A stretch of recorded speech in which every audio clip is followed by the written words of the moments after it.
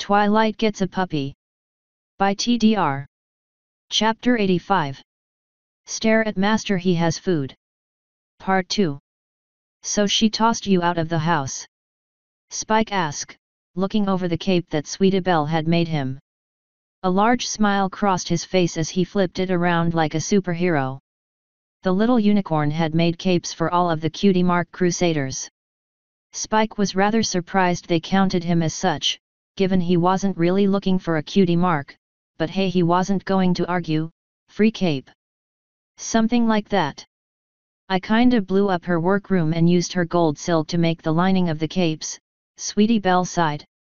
She didn't throw you out, she's just stressed out is all. Fluttershy placated.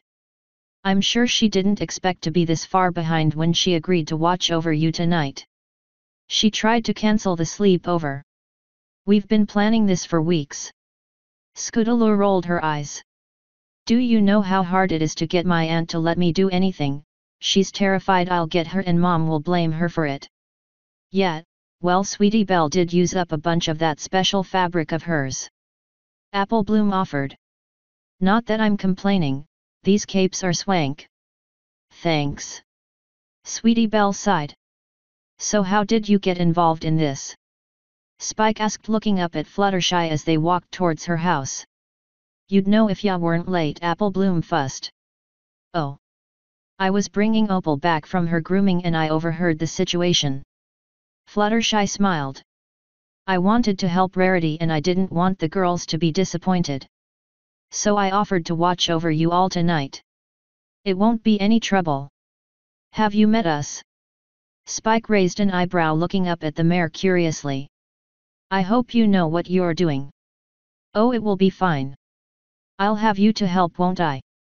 Fluttershy smiled causing Spike to look away with a bit of a blush. Oh yeah no problem. I'll help however I can. Spike muttered. Ya done sucking up. Apple Bloom asked moving up between the two looking at them both with shifty eyes. Well where are you all off to? A voice asked prompting them all to pause and look over as twilight approached. Hey sis! Where you headed? Spike questioned looking over the bulging saddlebags his sister had. I ask you first. Twilight narrowed her eyes looking down at the dragon. We're headed to Fluttershy's for a sleepover. Scootaloo chimed up. Really? Twilight blinked looking at Fluttershy curiously. I thought that was going to be at Rarity's. Rarity was swamped with work so I offered to watch them so they wouldn't miss the sleepover. Fluttershy offered. It isn't any trouble. Have you met these four? Twilight asked with a roll of her eyes. I'd offer to help but Zecora and I are going to be hunting a particular plant that only blooms at night in the Everfree. It's something that's needed in a bunch of potions. A moon lily? You're going after a moon lily. Apple Bloom chimed in. She's been talking about that for weeks, them things is rare and hard to get unless ya have magic. That's right, I figure I can help her get a better harvest than she can get on her own. I also keep forgetting she's teaching you alchemy. Twilight chuckled looking down at Apple Bloom. And herbalism. Apple Bloom added. Well one crafting and one gathering skill is always useful. Spike muttered. Anyway Ross is at home taking a nap, though he claims he'll head out into the woods later to meet up with us. Zecora's still leery of him for some reason she won't say, probably the whole witch wolf thing again but if you need anything feel free to wake his lazy butt up. Twilight smirked. Isn't the Everfree dangerous? Sweetie Belle asked. Very. Ross and the guards might be keeping a lot of the little dangers at bay like the cockatrices, but there's a lot more out there that would gobble you up in a second. I'm loaded for bear with combat spells and protections but even I'm leery of going in there. Honestly I'm surprised Ross is letting me go without tagging along as well. He's trying to be less mother hen like after Shining teased him last time he was here. He probably would tag along with you regardless if Zecora wasn't there. Given she lives in the woods I think he figures she'll keep you alive as well as he could. Spike answered. I didn't think he'd take Shining's teasing so hard. Twilight frowned. Uh, you know how he gets sometimes. Spike shrugged. I don't call him drama dog just because of his hobbies. Good point. Alright have fun every pony and mind Fluttershy. Twilight called shifting her gear and heading towards Zecora's as the small group continued on to Fluttershy's. Asterisk. Well that's the last of it. Spike sighed setting his bag down on the spot he had claimed for himself in the room. The girls had claimed the bed, but he had expected that and had brought a sleeping bag.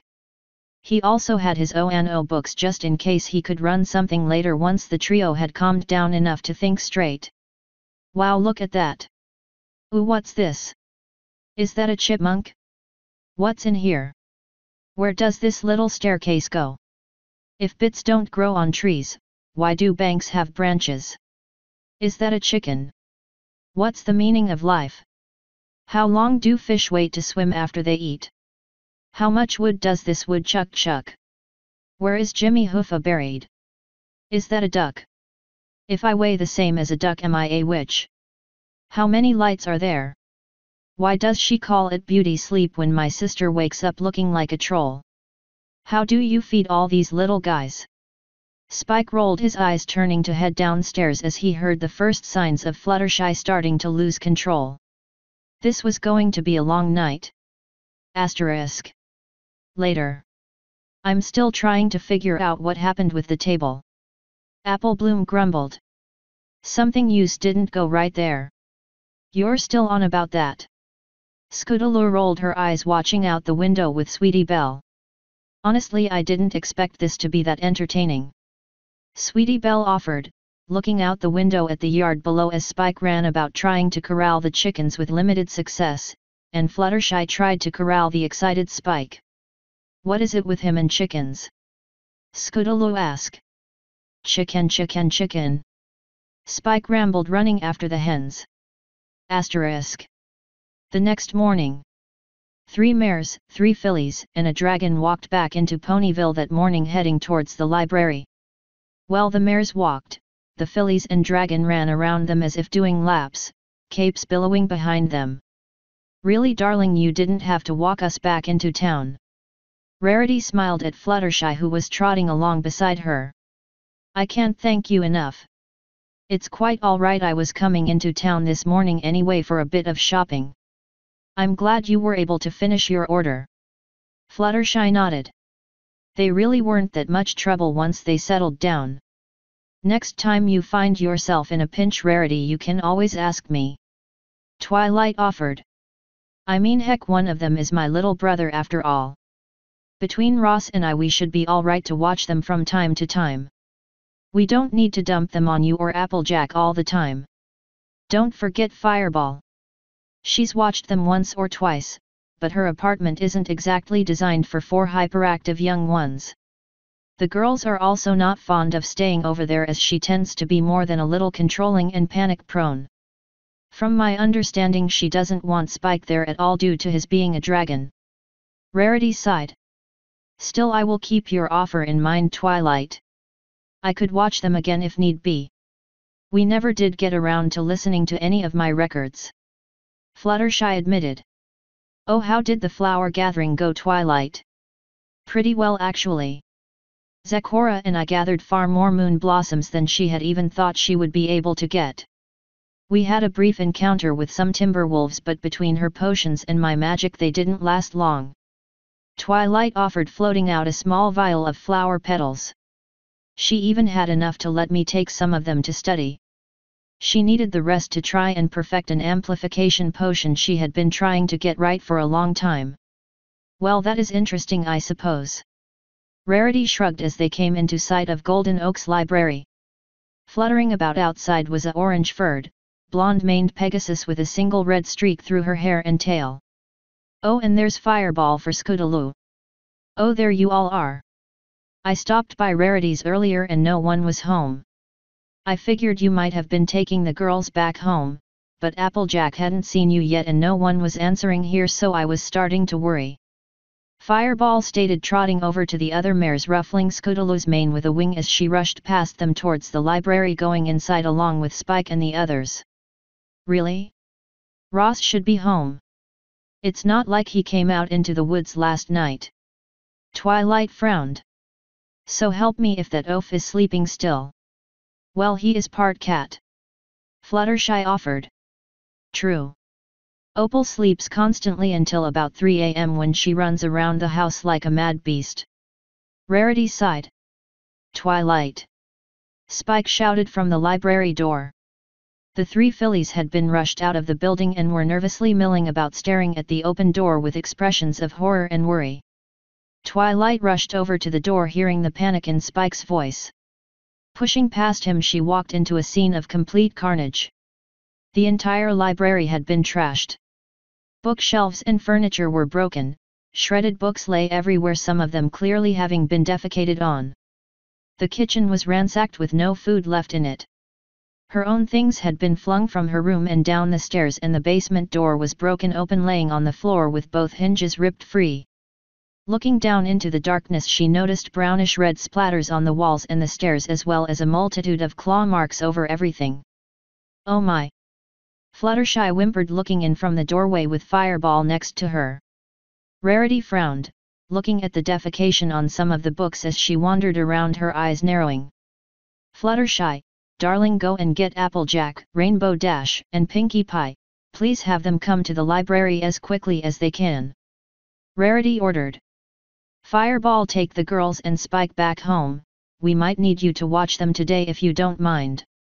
Also alert the guards on your way past if you would. Right.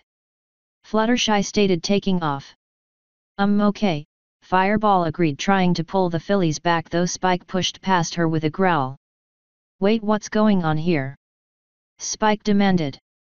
Twilight stammered for a response as Rarity lit her horn up looking down the stairs to the carnage below. A shallow hole lay at the bottom of the stairs, bursting up through the wooden floor, it had been filled in but the signs of it were clear.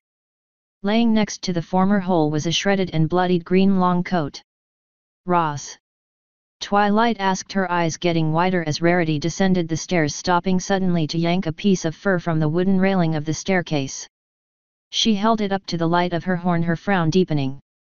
Rarity what is going on? Spike demanded. Diamond dogs. Rarity growled tossing the brown tuft of fur aside as she turned heading back up the stairs with a grim look on her face. What? Twilight stammered. It seems Ross has been full-napped by diamond dogs. Rarity said with certainty. Author's note. And here we go something I've been setting up for a while. To be continued in the next chapter. Pony and Dog Show. End author's note. End chapter 85. Stare at master he has food. Part 2